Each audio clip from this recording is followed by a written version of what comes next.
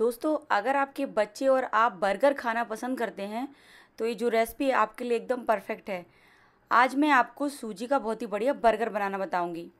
इस बर्गर की ख़ास बात यह है कि ये बिना मैदे के तैयार किया गया है तो चलिए बिना मैदे का इस्तेमाल करे बर्गर बनाना हम शुरू करते हैं।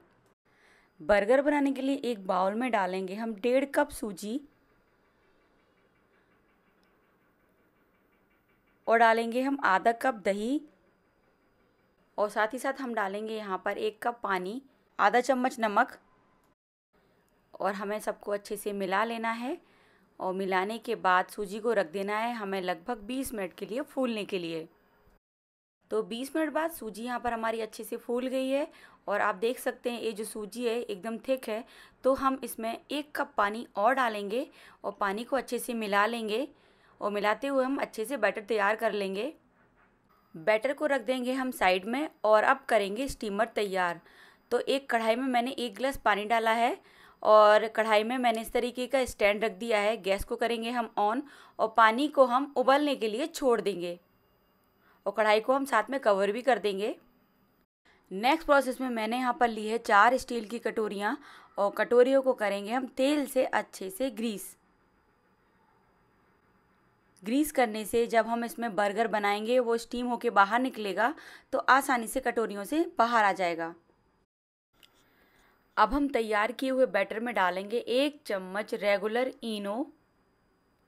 और इनो डालने के बाद इनो को हमें बैटर में अच्छे से चलाते हुए मिला लेना है। तो इसको हमें बहुत ज़्यादा देर तक नहीं मिक्स करना है। तो यहाँ पर ये जो बैटर है बन के तैयार हो गया है। आप यहाँ देख सकते हैं कितने सारे इसमें बबल्स दिख रहे हैं। तो बैटर को हम कटोरियों में डाल लेंगे।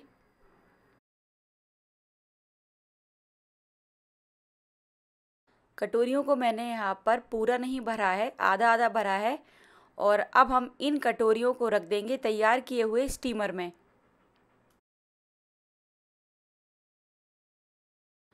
और कवर करके लगभग 20 मिनट के लिए स्टीम होने के लिए हम इनको छोड़ देंगे। 20 मिनट हो गए हैं तो चलिए अपने बर्गर को हम चेक कर लेते हैं। बर्गर को चेक करने के लिए बर्गर के अंदर हम इस तरीके से चाकू को डालेंगे और बाहर निकालेंगे। तो आप देख सकते हैं कि चाकू यहाँ पर एकदम क्लीन है। इसका मतलब है कि बर्गर हमारा अच्छे से स्टीम हो गया है। अब लिया है मैंने एक बाउल और बाउल में डाला है मैंने यहाँ पर चार मीडियम साइज़ के उबले हुए आलू और आलूओं को मैश कर लिया है। और आलूओं के साथ ही हम डालेंगे दो चम्मच कॉर्नफ्लोर, आधा चम्मच नमक, एक चौथाई चम्मच जीरा, आधा चम्मच लाल मिर्च पाउडर, साथ ही साथ डालेंगे आधा चम्मच अमचूर पाउडर और सारी चीज़ों को हमें अच्छे से मिला लेना है।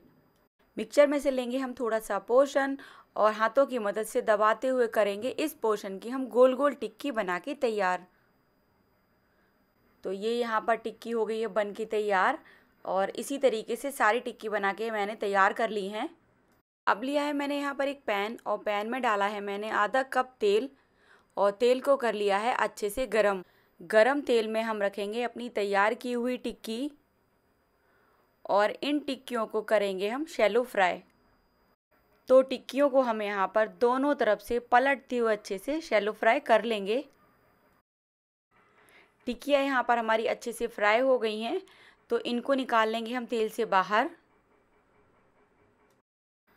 और यहाँ पर ये जो हमने बर्गर तैयार किया है, ये भी ठंडा हो गया है तो इसको हम कटोरियों से बाहर निकाल लेंगे। ये देखिए, आसानी से बाहर निकल आया है। और ये जो बर्गर है हमारा बहुत ही ज़्यादा स्पॉन्जी बना है और कितना अच्छा ये फूल गया है। अब हमें बर्गर को बीच से चाकू की मदद से काट लेना है।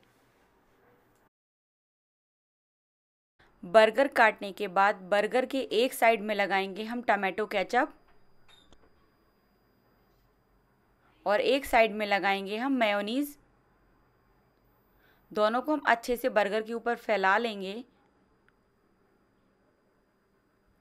और अब हम इसके ऊपर रखेंगे तैयार की हुई आलू की टिक्की।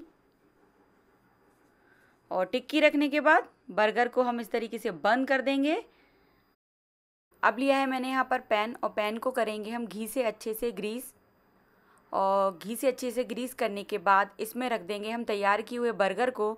और बर्गर को हमें यहाँ पर दोनों तरफ़ से अच्छे से सेक लेना है। तो थोड़ा सा घी हम बर्गर के ऊपर भी लगाएँगे।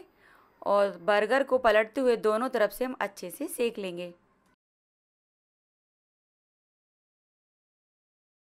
बर्गर यहाँ पर हमारा दोनों तरफ़ से अच्छे से सीख गया है, इसको हम निकाल लेंगे। आप चाहे तो बर्गर के अंदर टमाटर और प्याज को भी काट के लगा सकते हैं, पर यहाँ पर मैंने ये आलू टिक्की बर्गर बनाया है तो मैंने प्याज टमाटर का इस्तेमाल नहीं किया है। और दोस्तों, ये हो गया है हमारा बर्गर खाने के लिए तैयार।